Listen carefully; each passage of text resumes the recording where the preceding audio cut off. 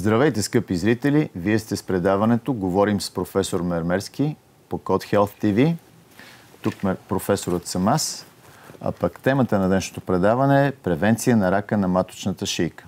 Експертите, които ще говорят по тази тема днес, са госпожа Лиляна Асенова. Тя е председател на Националното сдружение за профилактика на маточната шийка и доктор Найден Николов. Той е акушер-гинеколог.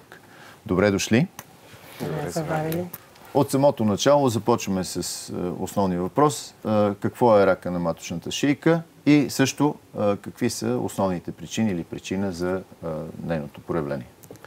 Рака на маточната шийка е злокачествено заболяване на шийката на матката и причината за него основната е човешкият папилон вирус, който се предава при полов контакт.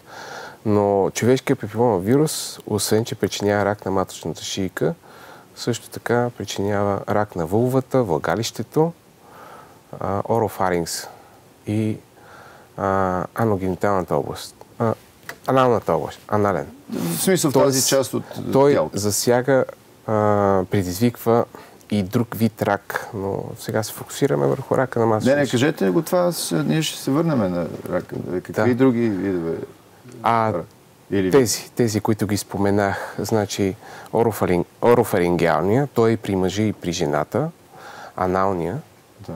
аналната област, на пак при мъжа и при жената, и при вулвата и влагалището. Външните полови органи на жената. С други думи, всички органи, също. които участват в е, сексуален контакт, да, могат, могат да бъдат уязвими да. от към пипи... Е... От човешки папилон вирус. Така.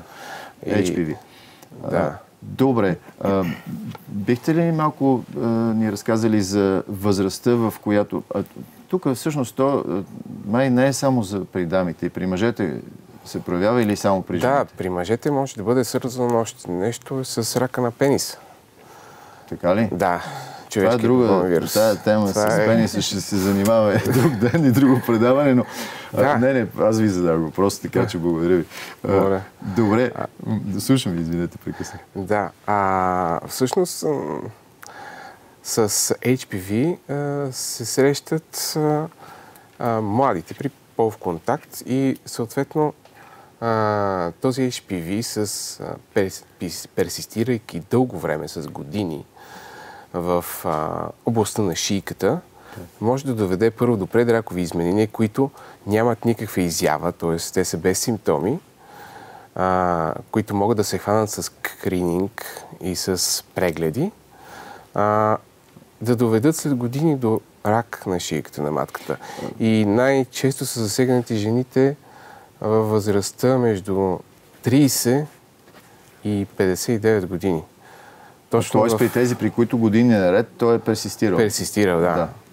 А, тук ще се обърна към госпожа Асенова, да. малко да ни даде и тя статистика и всъщност от това, което ни казахте, става ясно, че една програма за превенция е изключително важна. А, така че микрофонът е ваш в момента. Ами благодаря. Аз също бих допълнила специалиста, който каза, че а, за възрастта. А, даже възрастта в момента е много по-ниска.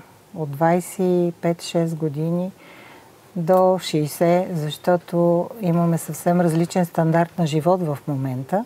В смисъл? В смисъл, че а, сме полово активни от по-ранна възраст и това нещо... Да, преди не сме ли били по Еми, така и статистиката го показва, да. че заболяването прогресира повече при по-младите хора или така наречените полово активни а, млади жени и мъже, разбира се. Тук малко хумористично, без да е подходящо. Разбира това се, подметнах. Да. Не, то не е правилно.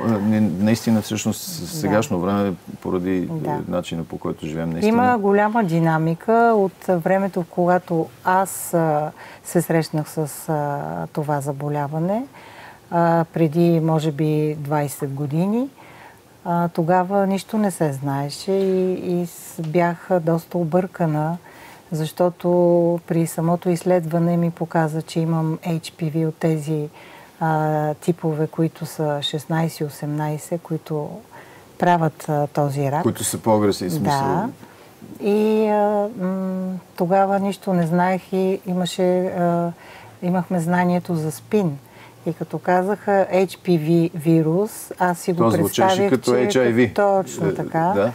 И съм обикаляла тук Софийските а, библиотеки, за да прочета. Та, та, та, това е, това А. мога да допълня за възрастта и, и Сега разбирам, че вие сте наистина един добър посланник. Защо вие сте подходящ посланник именно Да. за превенцията. Ще ни кажете ли малко за Ами, вашата инициатива? ние се опитваме да, да информираме обществото за този проблем. И това е поредната кампания, защото има Европейска седмица, обявена от доста години назад за превенция на рака на маточната шийка.